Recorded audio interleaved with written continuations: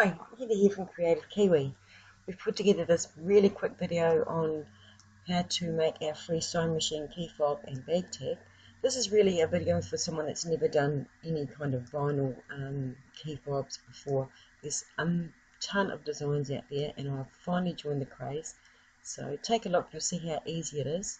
It's not just uh, have to be vinyl used in these designs, basically any non-fraying material. Um, felt, obviously, it's a pretty good one, uh, but these days you can get just a lot of materials just at your local uh, sewing shop that have some kind of coating on them so they just don't fray. So you can use anything like that. Or, you know what, do something like this in denim and you could fray the edges. Um, just have a play around. I'm sure you'll enjoy it. Let's get started. First of all, I'm just going to show you in pictures how to do how easy it is to do the key fob. Basically, you just stitch your placement line, put a piece of vinyl on top, stitch the design, then you're going to add a little bit of vinyl underneath, which I just float, or you can tape and place on the back if you prefer. Make sure that the edges are all covered on the back. Stitch the final um, colour, and that's your key fob. And you just got to cut it out. That's how simple it is. These days it's really easy to buy the um, like the keyring attachments and the snap cams. But what, you, what are you going to do if you don't have um, those pretty little machines? Which, by the way, in New Zealand I got from Green Bees. I think they're a New Zealand and Australian uh, company. Um, what we'll do is we'll get a link on um, the website where you can get them from in America. I think it's they're pretty generally widespread these days to buy the cam snaps. And obviously the keyring um, links you can get from anywhere. If you don't have cam snaps, you can just add a hanging tab. Just use the um, individual sewing machine design. And as you can see there, all I've done is put a piece of vinyl around um, a key fob, basically, or I don't know what they're called, the clippy things. And I'm just taping it in place after I've done the placement line. And you can do this just to add a piece of ribbon, um, you know, if you want to make it an ornament. I'd be quite happy having an ornament on my Christmas tree like this as we sewing machine.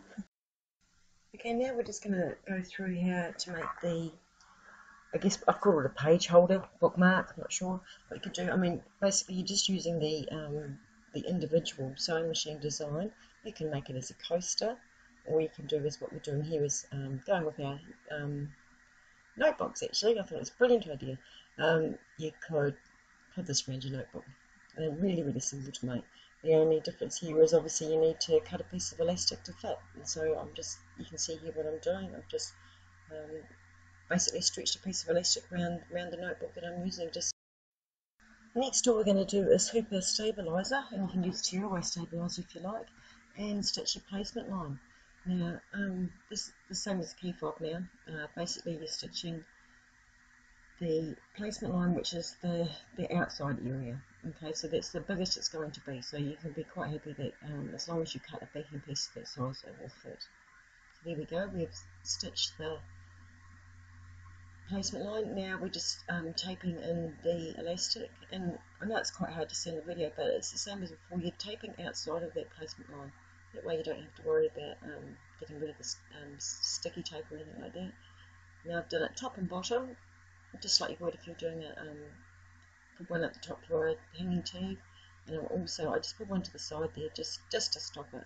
But when you're doing something like this you really need to watch your machine because there's a few things that the um, foot could catch on but keep an eye on it and you'll be fine.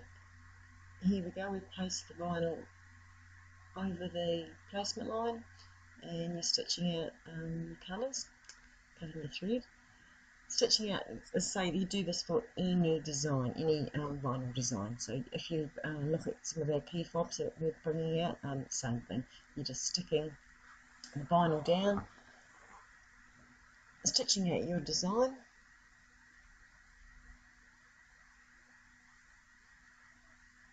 And so for this one, we've got the grey, I did it in grey anyway, uh, sewing machine outline. We've got the next colour is the blue, which I think I'm showing here anyway. The blue uh, thread and the wee heart on the machine. And then the last colour I've done in pink, which is just the initial. So the design comes with all of the initials if you don't have your own editing software. So pick your initial and then just stitch it. Now we're just floating the backing underneath, but as before if you're more comfortable with taking your hoop off the machine and taping it in place you can do that. Either way just check that you can see um, the back of the design or that the vinyl is covering the back of the design. And then you go ahead and stitch the final outline. And once again that's it. These vinyl designs are very simple and very fast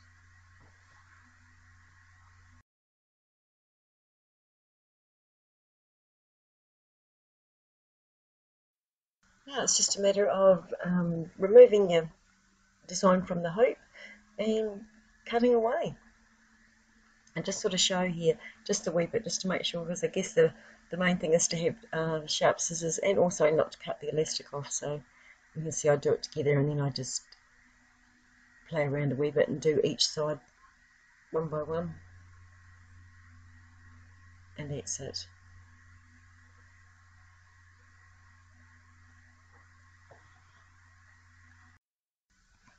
That video just shows you how easy it is to do these vinyl designs. Um, I'm going to put out, well, one set anyway I've got at the moment, which is just some um, key fobs, really good individual key fobs, which are good for Christmas presents, um, adding in, and just some flowers that I really like. So um, enjoy. Thanks for watching, and I hope you learned something. Bye.